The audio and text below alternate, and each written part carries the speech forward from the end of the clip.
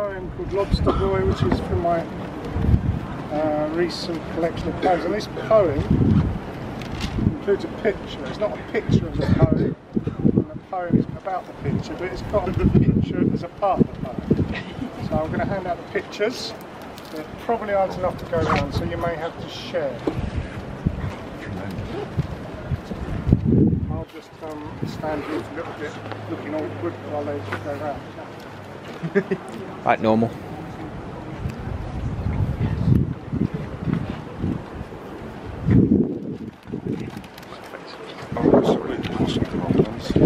Classic Pedro. Okay, let's go. It's called Lobster Boy.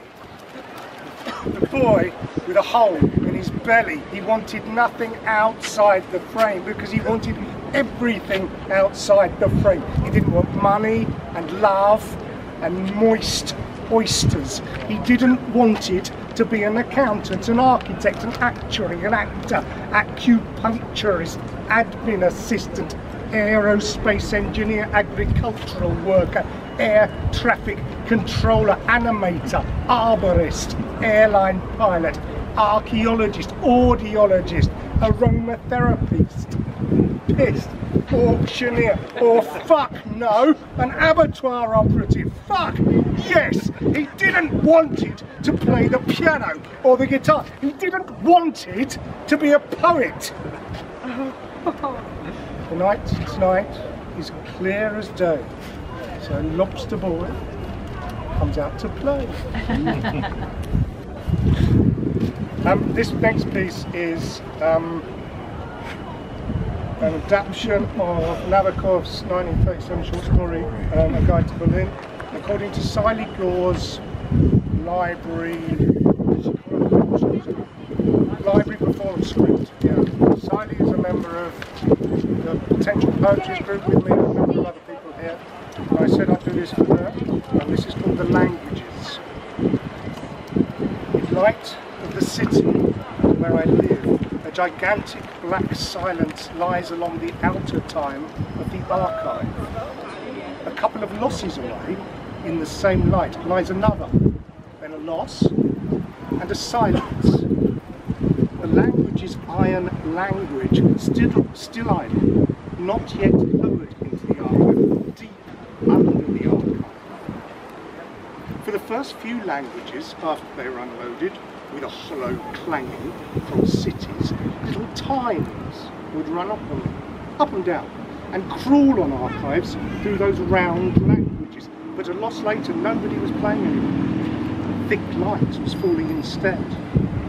And now, when, cautiously probing the treacherous language of the city with my thick rubber-heeled language, I go out in the flat grey silence of early archive and even the silence of fresh city stretches along the upper city of each black archive, while at the archive of the archive that is nearest to the city of the archive, the time of a still illuminated light sweeps up from the interior archive like bright orange heat time. Time someone wrote Otto with their time and the loss of virgin time, and I thought how beautiful that loss with its two soft losses flanking the city, the gentle losses, suited the silent language of light upon that silence, with its two silences, and its tacit loss. So I, some of you know, I used to work in the city for many, many years, um, and I gave it all up to become an experimental poet. Career mode, career move. there you go. And I wrote this. I wrote this soon after I left work in the city, and it's. I think it's actually a spoken word piece. Don't all boo. Boom. But it's called Suit Boy, open brackets, pure life, close brackets. This bitty coin city with its mirrored towers, this pretty groin city with its besodden hours, looking down on the invisible men dressed in all they own, looking up at the invisible men counting all they own. Suit boys living the pure life, making long life. Suit boys drinking the long life, selling pure life. Suit boys blocking the short life, running true life. Suit boys crocking the low life, making high life.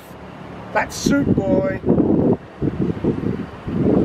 Shilling for the shysters slopped the whole shebang. I'm an artist in residence for the presidents of shite. Working for wonks who wanked the stinking hole. I'm an artist of irrelevance for the malcontents and spite. Stimming for the stomps who shrewd the superflux. I'm an artist of indifference in a wilderness of smiles. Punding for the prattlers who pranged this leprous prong. I'm an artist of coincidence for the poster boys of bile. Banging for the bragsters who brunt the new belong. I'm an artist of diffidence in an old world newly won. Gagging for the gurglers who grip the greasy pole. I'm a speculating poet in a speculative world. That's Soup Boy.